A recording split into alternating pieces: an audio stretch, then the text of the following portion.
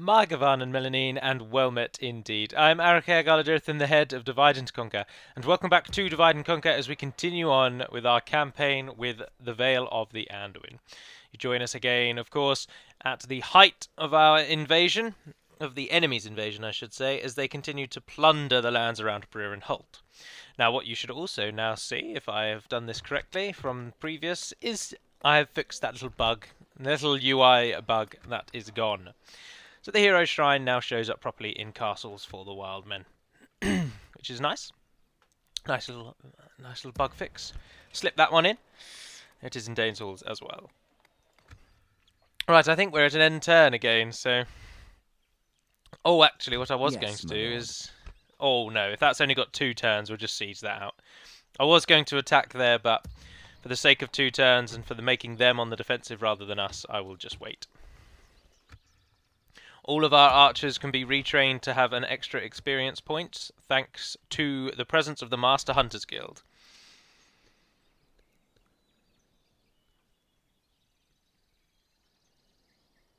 Hmm. Now that has actually been rewritten from the original guild, what the description of the original guild would said, because I went through and did a huge guild overhaul quite some time ago, version 0.5 I think has the guilds, not let alone 0.52.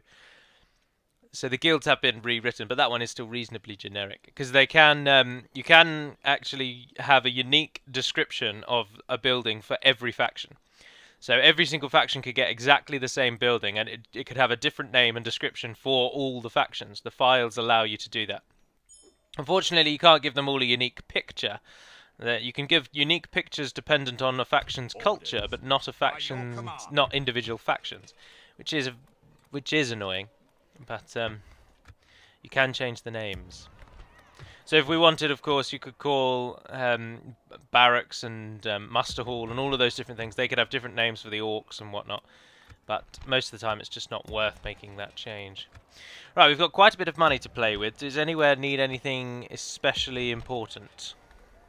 Folkton. Um, communal farming, please.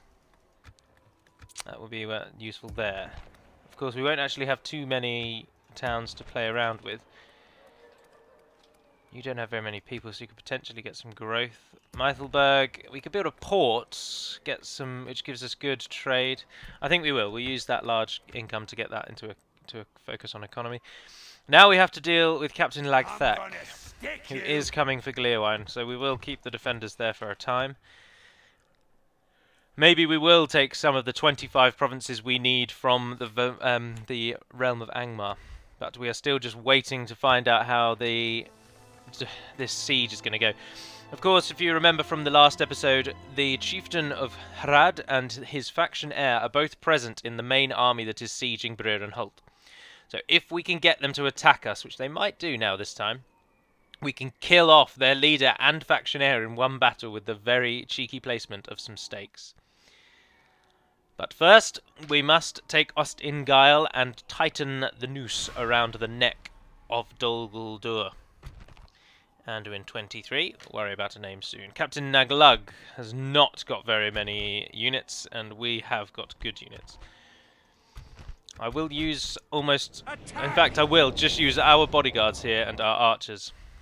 The bodyguard should be able to shred that meager force of Dol Guldur. Of course, this campaign has been tainted because Khamûl is locked. And because he's the faction leader, he keeps an armies always near him so that he doesn't die too easily. But on the flip side, it has left the enemy quite weak. Because they've spent the entire time... They've spent the whole campaign defending their leader who has barely left Dol Guldur. So... Which is annoying it's not given us a true representation. Uh, I realise that they are actually javelin men, so they're going to have no effect whatsoever. The Sons of the Fallen I would like to keep out of it ideally, because they're very difficult to retrain and maintain, and they're so powerful it's worth keeping them back for when something important actually happens. We'll run our cavalry over there as well, let's speed it up and zoom in. Ah, oh, you want to see what they look like, don't you? There they are. The Sons of the Fallen. The dwarves' greatest unit, armed with their spear sword thing, their red flowing cloaks, and the slight Roman inspired helmet, which I think works really well. And then, of course, the armour from the Hobbit. Right, the enemy is here.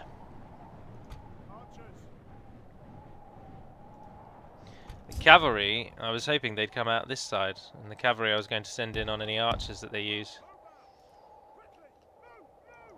They probably will use archers, so we'll use a combination of our bodyguard and the cavalry to deal with the threat.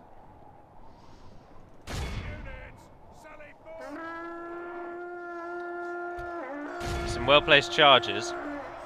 If we continue like this, oh, don't pause. Ah, oh, crime at least. Welcome back. Germanicus's AI is giving me no end of problems. That that where the game just freezes for no reason. That's a problem with the the the battle, the processing behind the scenes of the battle.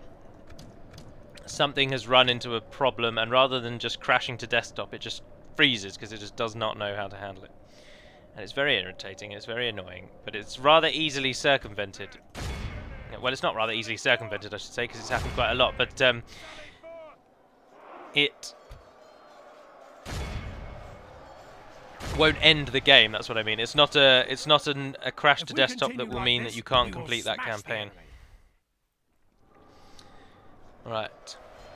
Turn it off at time six. I want a really solid charge here, please. Oh, who's shooting them? Oh, the, the hunters. Oh, you disappoint me.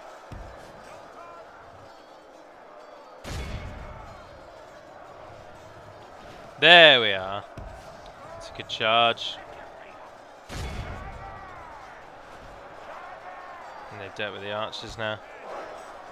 The bodyguard should be slaughtering whatever they come across here.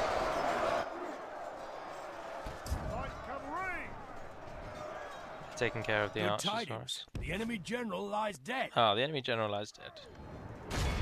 Only half the enemy force remains. There are two units of archers over there. Yeah, there are.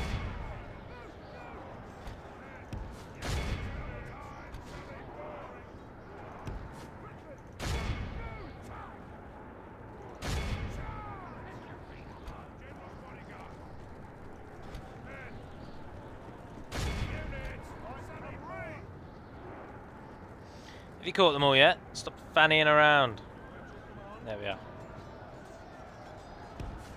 There's the new Dol Guldur flag. I've yet to change it to the one with the eye in.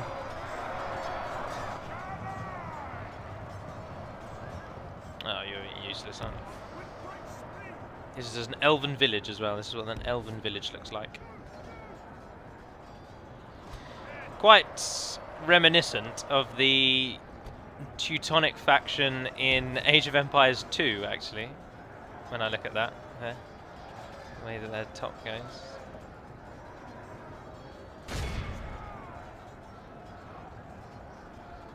Ah, no need to needlessly kill the cavalry, actually. They're not amazing in Our melee. Men are in command of the city. We awed by the skin changes, of course, will heal. So. Today. Jolly good show, old chaps.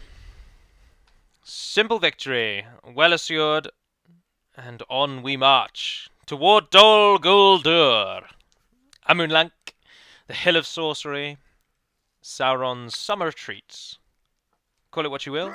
Glory will be in our hands. Victory! That I swear. We must make a stand. Ah, we yes, Harad. Please join us.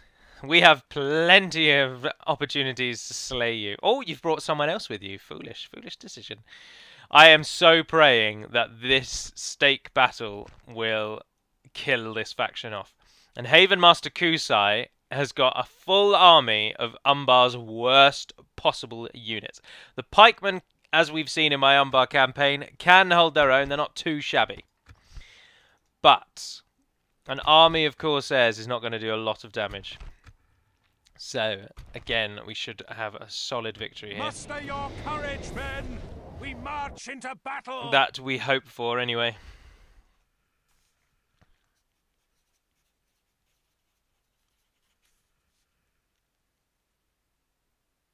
The Valesmen March. Fourth. Our foes appear to be gaining the upper hand. Exclamation mark. Righty ho. Ah, brilliant. We've got time to place the stakes and then run away. Here we go again with the fun little battle that we've been having every single time. Placing stakes.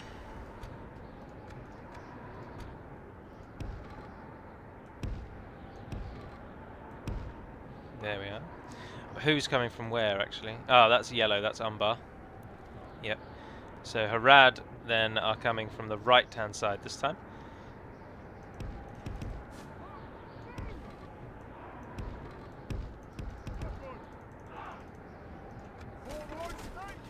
So we want to make sure that we get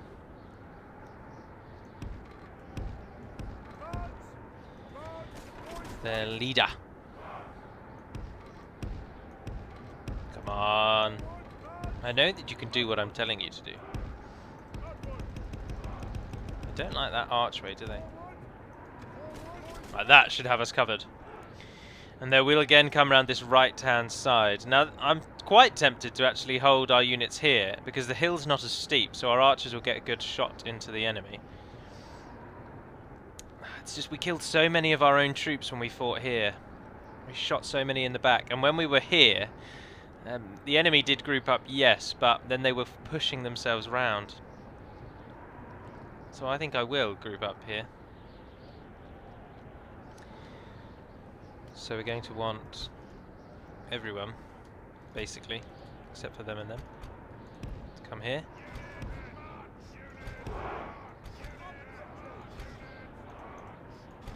Is that everyone? Oh, yes it is. Right, the two units of cavalry, though. Gonna go and bait. Oh, actually, we don't need to use both. Um, ah, but we will, we will. Gonna stand yourselves over there. Okay. Start battle, pause battle. Oh, actually I need to take them out of this first, don't I? They the only pikemen? Yes, they are. Don't do that. Likewise, don't do that. And you... Oh, you're not anyway. Okay. So.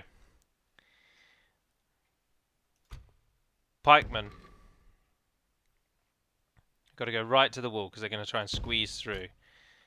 As they have done every time now.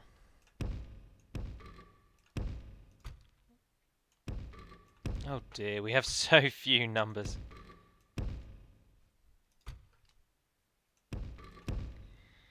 We really have nothing. Our army is almost solely archers here.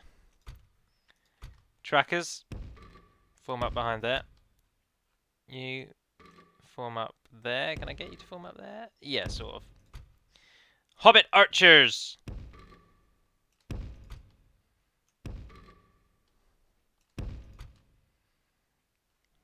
Should get plenty of kills. Should wait at the top. And three bodyguards, I'd like you to also wait near the top. And then you're going to stop anyone from running over there. So that should be everyone placed. Let's move over to our cavalry. Want them to come down the hill a bit. You guys can get any arrows that you can get off already. Ah, oh, come on! Okay, welcome back. This is the fifth attempt I have now done to play this map. Now I think I know why Leo removed this from his own mod. I don't think it's anything to do with odd bugs related to um, the settlement and not being able to rally out or anything like that. Um, I've tried, as I say, this is my fifth attempt after that initial crash, and the problem I was having is that if I ordered my army to move into a certain position, it would auto crash regardless. I tested it in every type of way. So I tested to set them up here three times. And every single time it crashed. I had them all positioned at the top and then I set them all up where I wanted them to go and they'd all walk into position. And as soon as I unpaused the game, it immediately crashed. So then I tried anything that I could. I then tried moving them to sort of this area because I thought it might be something to do with this path. Like this wall here might be causing some sort of odd crash. But again, it just crashed immediately. So then I thought, right, is it just my army moving? So I, at the start of the game, when you're in the deployment phase, I just put everything here. I started the game, I paused it, and then I just double clicked randomly out here, selected every unit I've got like that, and then just double clicked outside the city walls. And immediately again, it crashed. And I unfortunately have never come across a bug like that, and I think it's entirely related to this system and the drain it is take it is basically demanding of my computer. Which is odd because I've never had a crash like that before, and I turned my graphics way down. But for whatever the reason, if I ordered my entire army to move, alongside the Umbar and Haradrim forces, it was just crashing. It gave me nothing in the crash log, it gave me no information elsewhere. I'm afraid I have no idea what caused it. But I'm back and I'm here now. I mean, uh, for you, no time has passed, but for me, 30 minutes have passed trying to get this to play it again. And we're finally at a point where we're actually going to play. This is what I wanted to do. I've got units at the bottom of the hill and then archers going all the way up the top. My cavalry stand ready on the other side and the enemy is about to hit the stakes.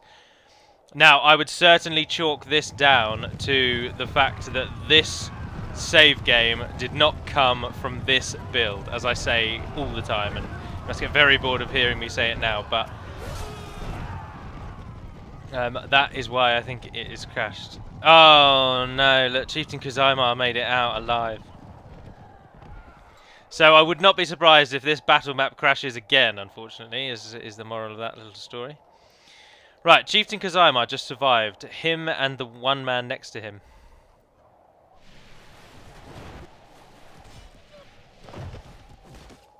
Oh, don't be on time six.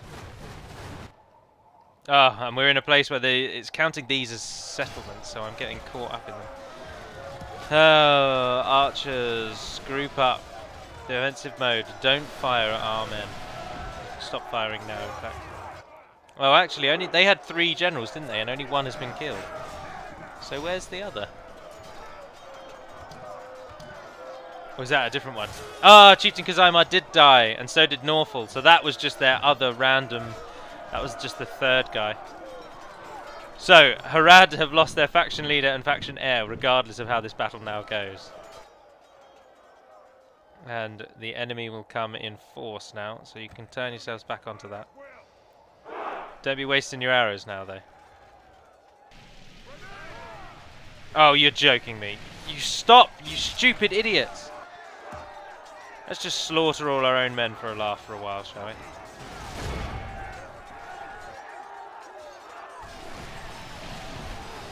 Oh no, now you can fire at will. Don't fire at anything, but now start firing at something. Okay, let's pop it on times two and just wait and watch as our archers hopefully destroy the enemy as it groups up at this wall here. Of course, Umbar, we did not, we will not have killed any of them with the stakes, they had no cavalry. And Harad, the bodyguard, were the only cavalry units that were there were in their army. So we will likely see a lot more. We will see almost all of Harad's force come against us, but they will now break really quickly. But it's Umbar where the enemy and the real threat lies. I don't think we're going to hold Breer and Holt. I'll say that again quite happily. I think all of these units are going to die. But we're going to claim so many enemies against the walls. And I'm just blooming pleased that it's working again. I could have recorded an entire another episode in the amount of time I spent trying to just get this settlement to work. But I do honestly put it down to um, the fact that I put this save game into this new build. I think that will have cocked up a lot of stuff. That has certainly screwed up a lot of features here and there. Uh, but also a large part of it probably is just this settlement. So if you do play this settlement, just be cautious, be wary. It might be a little buggy. But it's running fine now. I mean, it's stressing out. It's there's a little bit of screen lag. Um, or FPS drop, frame rate drop as it's called on a computer. Um, but it's still sort of handling it. But I, yeah, I think it, it, must just be the map, unfortunately. But in Leo's mod, he turned this back into just a generic dwarven settlement, and I just think that's really boring. changes in the course of battle, for defeat seems almost. This certain. one's way more fun, if it works. I suppose. Oh, that that wall thing is so annoying. Look, if they're going to stay there and not do anything, you could shoot them, really. Hit those Southron pikemen. Good. Pikemen are a big threat. Only half the enemy force remains.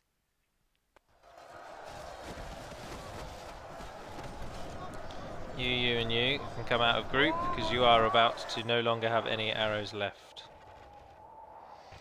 Vastred, are you firing straight down or are you arcing your shots? Oh, even he's firing straight down. This hill is a brilliant placement. They're breaking through though. The hobbits are actually going to have to fight.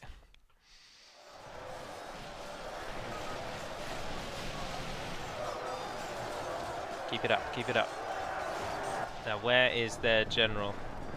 He joined in yet? Yes, there he is. They're the threat, the narrow and arrows. But we have got three skin changers standing ready atop the hill. I think it's probably going to be a good idea to run you down the hill now, actually. Because ideally, we do not want the hobbits getting involved in fighting, because they're rubbish.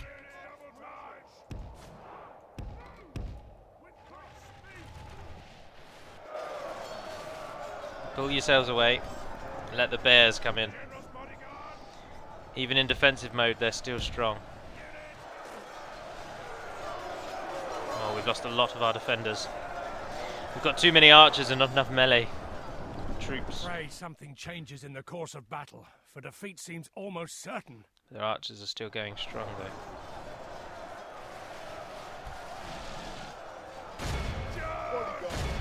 Charge yourselves in.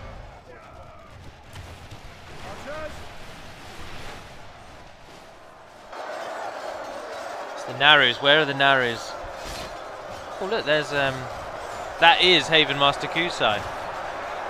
He has Kuzaimar's unique battle model, golden armor and two swords. He's just strolling his way up. He's walking so casually. Look at him.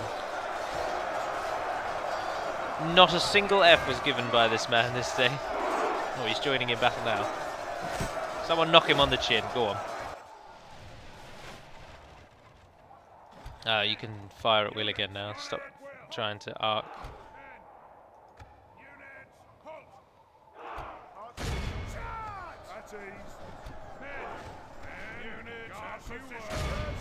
Pray something changes in the course of battle, for defeat seems almost certain. The woodman trackers we don't want to lose at all. I'd much rather lose hobbits before I lost woodman trackers, actually. But they've only got a few arrows left.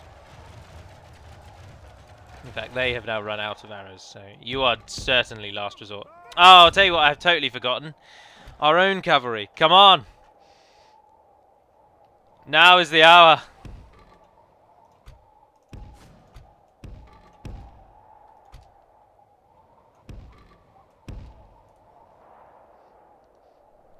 We can charge them into the into the back of the enemy.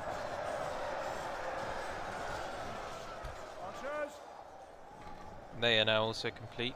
See, why is it now letting me move troops? I'm so cautious now. I'm expecting a crash at any second. Which is really irritating, because if it does crash again, it will crash midway through. You can't load up from halfway through the camp, through the battle.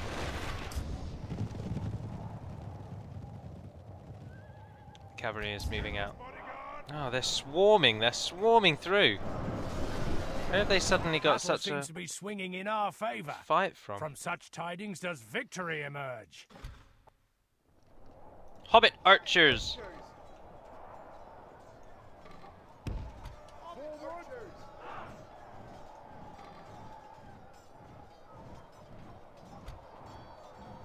Don't really want you involved in the fighting, If we continue like this, we will smash the enemy. Off you go.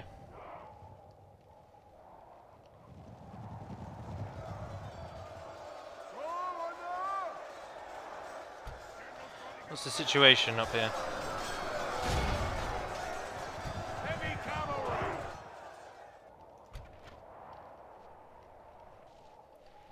Because this isn't the most annoying thing you've ever seen in your life. Ah, this camera.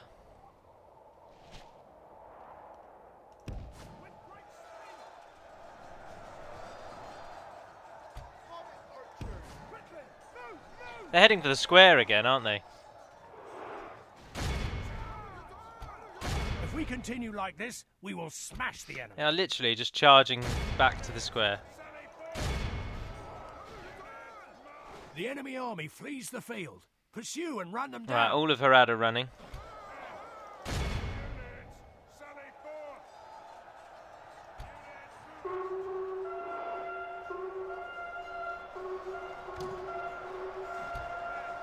Surely there can't be that many left. They've got Naru and Aru Royal Archers and they've wasted them.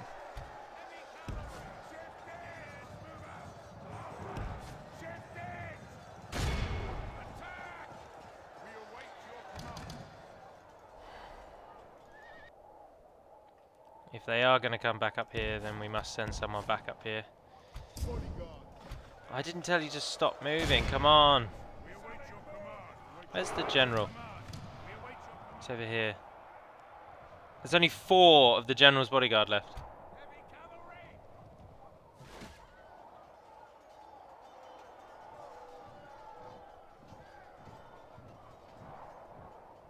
Oh, our unit got slaughtered. Did they run into some pikemen?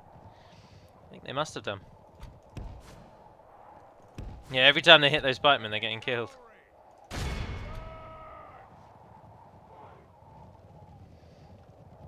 We'll just shoot them till they get to the top of the hill then. Oh, well done, men. Well done indeed.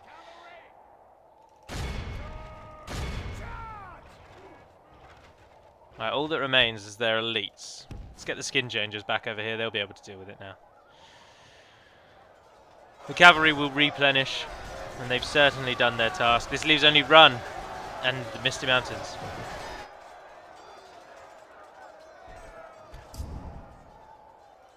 Go and capture that idiot. The enemy general lies oh, dead. oh, they did it straight Let away. The crows have his miserable bow. The enemy army flees the field. What's left? Pursue and run them down. Oh, we don't need to continue actually.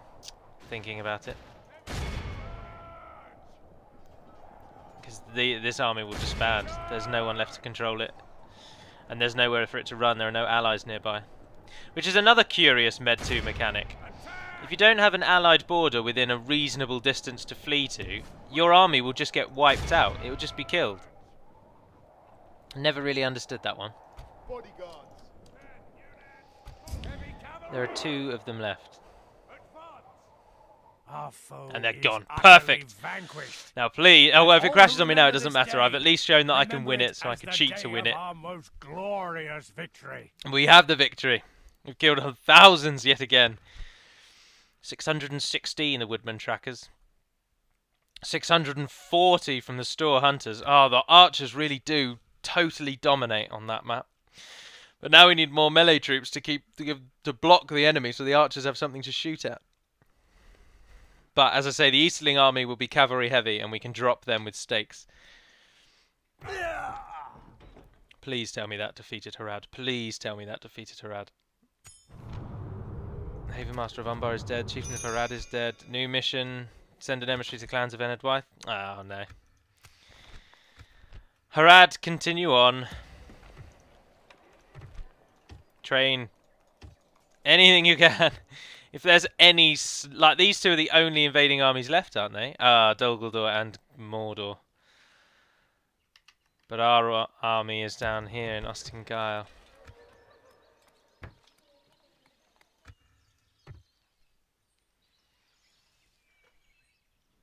So we could ship some reinforcements back. If we could ship some reinforcements. I'm just going to save it just to make sure. I'm also uh, going to end the episode on this turn. Uh, give it give it a blooming rest. Piece together the numerous... Oh, I didn't know Mount Gleerwine was besieged. The cheeky buggers. Right, well, we've got to deal with that threat now. Yes, my lord. Let's get out there and build some towers, men. There is no glory in hiding like this, my lord. This tower will keep vigil over the land. Your orders, my lord. Yes, my lord. Hiding On sight over my new domain. Your orders, my lord. concealing the troops by your order.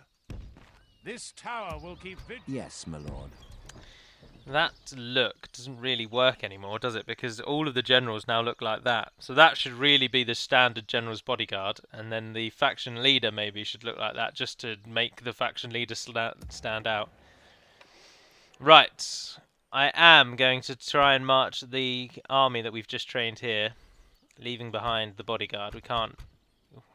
And then try and get them to the mountain before it's besieged again. We can go no further today.